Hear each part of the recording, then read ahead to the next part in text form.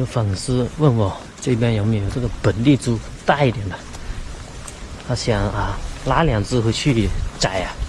现在呢来到亲戚这边了，他养了一群跑山猪，给你们看一下，看，在果园里面让它跑。然后这个没叫，跟你哎山林高沟大切开切，这个铁球上的。这个呀，我。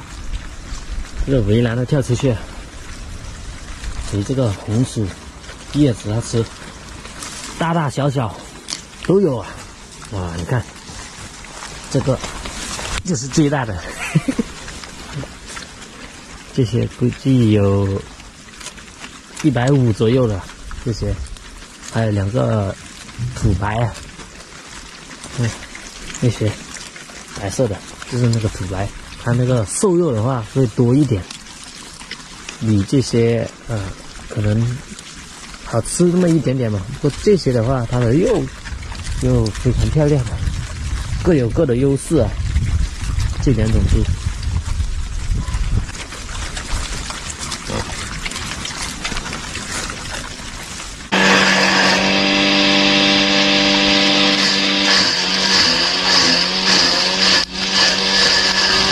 喂猪了，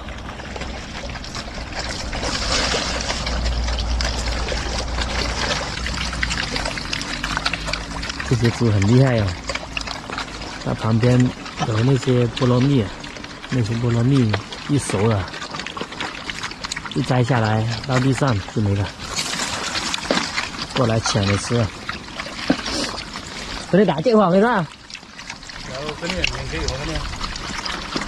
大的养了一年多，看这些猪非常结实，不像猪栏里面养的那种，它的肚子没有到地下了，不拖地。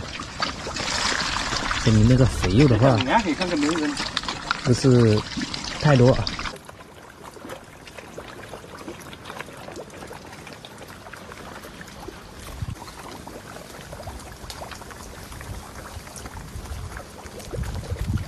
那树底下放这个红薯叶子，等它中午的时候啊，睡完觉了，嗯，就过来这里啃了。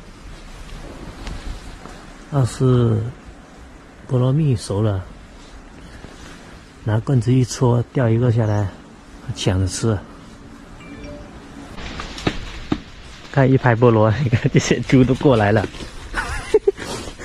哇！这不累的那个鸟乖，飞鸟乖，鸟我都不弄。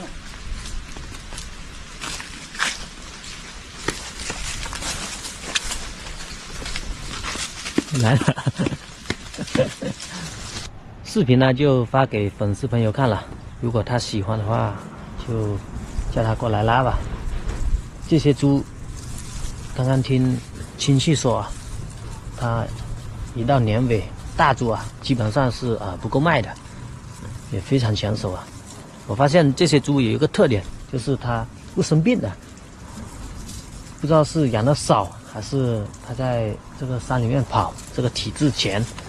要是那些关在猪栏里面养的那些啊，三元猪、二元猪那些，你养的少，你打理不到位的话，它一样也是生病的，咳嗽啊、喘气这些、拉稀的这些。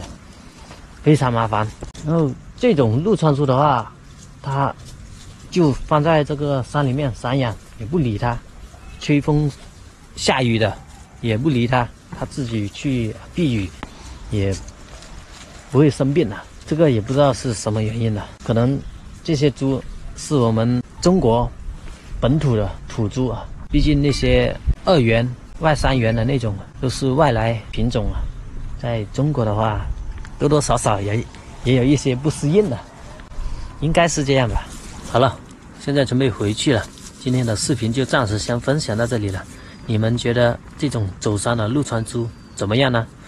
会不会嗯比那些猪肉好吃一点呢？欢迎在评论区下方说说你们的看法。我们下期见。